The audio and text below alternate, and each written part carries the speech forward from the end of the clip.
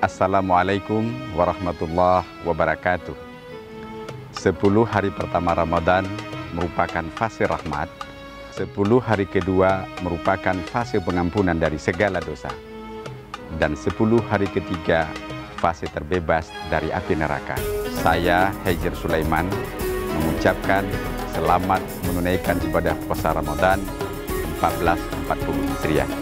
Assalamualaikum warahmatullahi wabarakatuh.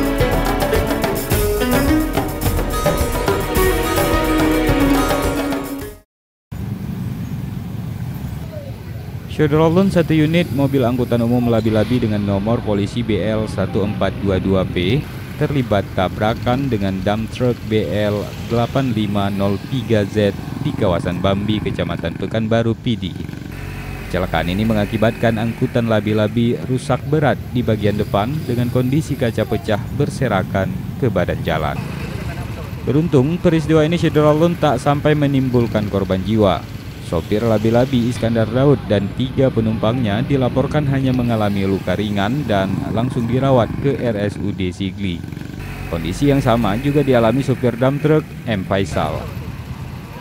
Dari Sigli, Muhammad Nazar, Serambi On TV.